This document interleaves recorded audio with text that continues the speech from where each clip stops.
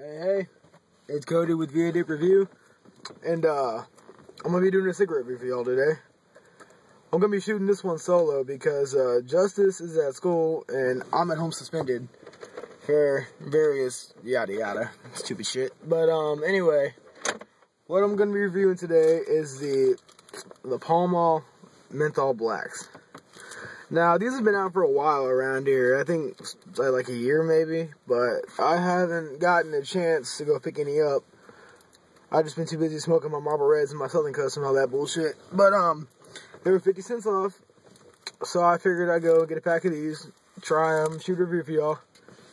Um, so yeah, let's start off with the uh, pack design. Um, I honestly think that it's pretty good. It's got, you know, the little symbol, looks like the Philip Morris symbol. The pack is green and black, and that's pretty cool. But, uh, I mean, most Pall Mall packs are just solid colors with, um, the little symbol on there. But this one's two-tone, so that's pretty cool. But yeah, let's go ahead and pull one of these out and see how it smells. It definitely smells like a strong, strong, strong menthol. This is, I mean, I smell a lot of the menthol coming through. No, none of the tobacco. It's a lot of menthol. But, uh, yeah, still a little dry pop on it. Yep, I'm definitely tasting a lot of menthol there. Um, I can't really get a taste of the cigarette. I'm just getting a lot of menthol. But yeah, um, I kind of packed these down pretty good. Maybe a little too much, but I don't think it should uh, affect the review too much. But that way I can get a taste of the paper.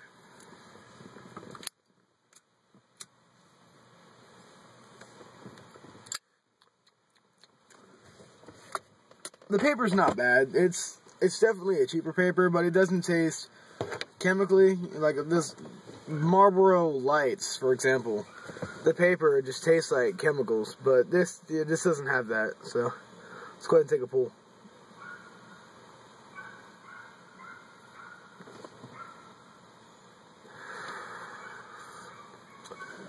Initial impression, not bad at all. Got a very, very, very clean menthol taste. It's not a dirty menthol. It's it's a good taste. But uh, let's see how the body is on it.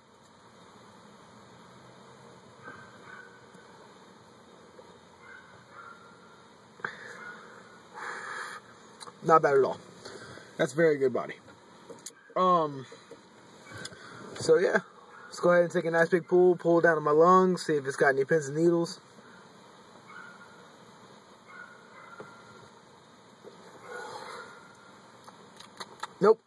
Goes down nice and smooth and easy. This cigarette, it's burning pretty evenly. It ain't got no spots that are burning faster than others. Filter. Filter's getting covered good. It's not spotted. It's not all going to one side, which a lot of cheap cigarettes do. These aren't. So that's a good thing. Um.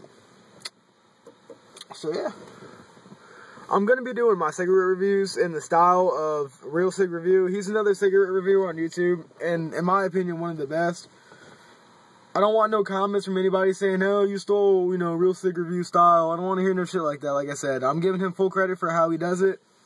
His reviews are my inspiration to start doing reviews and how I'm going to do them. So, I mean, you all should certainly check him out. His channel is Real Cig Review. He does uh, cigarettes, cigars, e-cigs, all that good stuff. So, I definitely recommend y'all go check them out.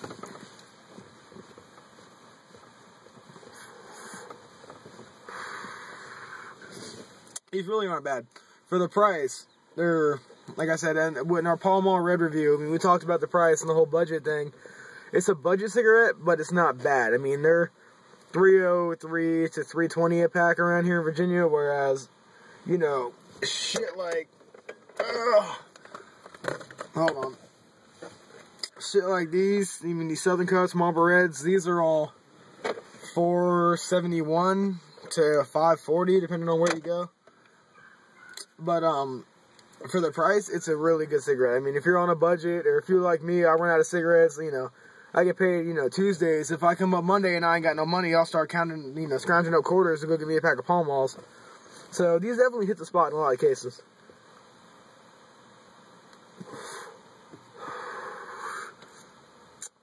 We're about a little bit over halfway through with the cigarette, and I mean, it's still got a good taste.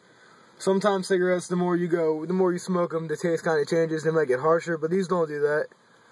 I mean, they're a good, solid, clean menthol taste through and through. And I like them. So.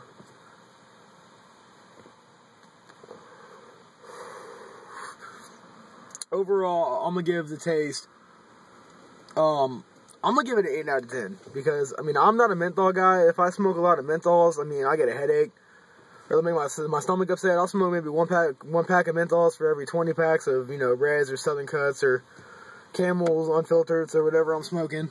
Um, but they're definitely a good menthol. Like I said, they're they're real minty, but they're not as bad as something like a um a Camel Crush. If you've ever smoked those, those are just like inhaling Vicks Vapor Rub. I hate that. But these got a nice clean menthol taste. I mean, they don't they don't taste like chemicals. They don't taste like, you know, ass. But um, I'm gonna give the body on it about a. Uh, I don't know. Let's do it again, shall we?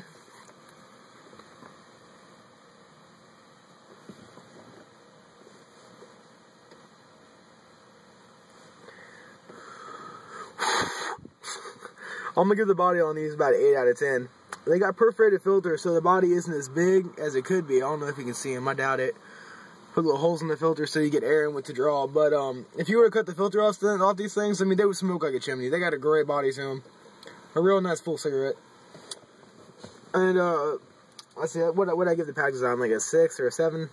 So yeah, overall, I'm gonna give this cigarette a seven and a half out of ten. I mean, it's a good cig. I like them. I mean, I can't smoke a lot of them, obviously, because, you know, they'll upset my my body function and whatnot and all that good shit. But, um, if you're in a menthol mood, these are great. And they're cheap. So, I guess that's kind of a bonus, in my opinion. Not quite sure. But, um, yeah. See, this is this is where you start to realize where they're cheap. See how that, uh, the paper separating from the filter? and how it's kind of all gunked up in the middle, not all through and through. That's starting to indicate, you know, that it's a cheap cigarette. But once again, they're not terrible. I like them. Justice likes them. Like I said, he's at school, otherwise he'd be right next to me doing this with me. But um, guess I'm going solo on this one. But um, yeah. Anyway, I got a couple minutes left, so uh, I guess I'm just gonna ramble. If there's any particular cigarettes, little cigars, uh, dip, chew, I mean, whether it be Redman, Skoal, whatever it is, if y'all want us to do it and review it, just drop us a comment. I mean, send us a message, you know, comment on the channel, do whatever you got to do. I mean, I mean, it's going to be a 10 out of 10 chance that we'll get to it. I mean, we're kind of, we're a small, we're a small base review channel at the moment. So, I mean, we're willing to do whatever people want. I mean, if you got any suggestions, I mean, any comments at all, just tell us, you know, we'll, we'll try to change if you're not liking something or, you know, if you want us to do something different, we'll try to do it that way. But yeah, just let us know.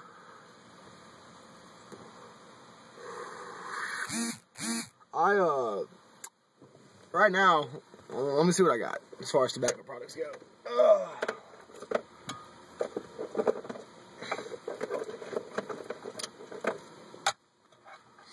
Alright, currently I got the uh, Skoal Long Cut Cherry, and I got the Grizzly Wintergreen Pouches. So, uh, if y'all would like to see us do, you know, if you want us to maybe redo this one, because, you know, Skoal Cherry was the first review we ever did, so it might not be as good a review as it could be. So, I mean, if you'd like to have us redo anything, like I said, just let us know.